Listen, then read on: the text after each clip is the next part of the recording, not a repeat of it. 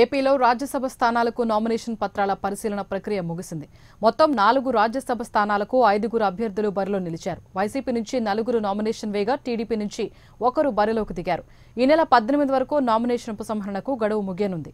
ఉపసంహరణ గడువు ముగిశాక రిటర్నింగ్ అధికారి తదుపరి ప్రకటన చేయనుంది.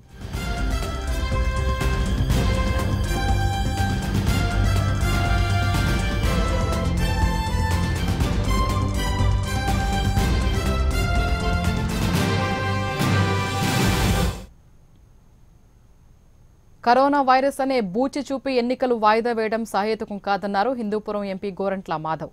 అనంతపురం నగరంలోని రాప్తాడు ఎమ్మెల్యే తోపుదుర్తి ప్రకాష్ రెడ్డి నివాసంలో నిర్వహించిన మీడియా సమావేశంలో ఆయన మాట్లాడారు. స్థానిక సంస్థల ఎన్నికల్లో గెలవలేకనే టీడీపీకి అనుకూలంగా ఎన్నికల కమిషన్ వాయిదా వేసిందని ఆరోపించారు. ఎన్నికల కమిషన్ రాజ్యాంగబద్ధంగా వ్యవహరించడం లేదంటూ విమర్శించారు. ఎన్నికల సంఘం వెంటనే యథావిధిగా ఎన్నికలు నిర్వహించాలని డిమాండ్ చేశారు.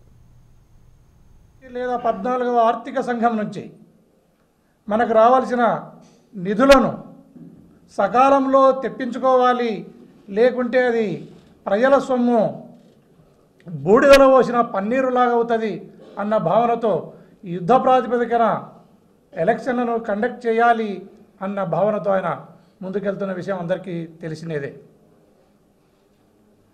దానికి విఘాతం కలిగించడానికి చంద్రబాబు నాయుడు గారు ఎలాంటి కుట్రలు కుతంత్రాలు చేస్తున్నారో అందరూ ఒకసారి గమనించాలి.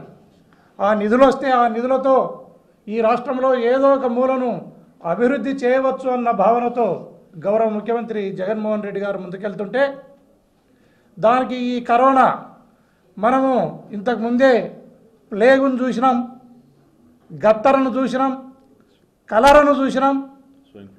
అదే కాకుండా అతిపెద్ద పొలిటికల్ కరోనా పదహైదు సంవత్సరాల నుంచి అతిపెద్ద పొలిటికల్ కరోనా అయినటువంటి చంద్రబాబు నాయుడు గారి దుర్మార్గాన్ని కూడా మనం చూసుకుంటూ వచ్చినాం.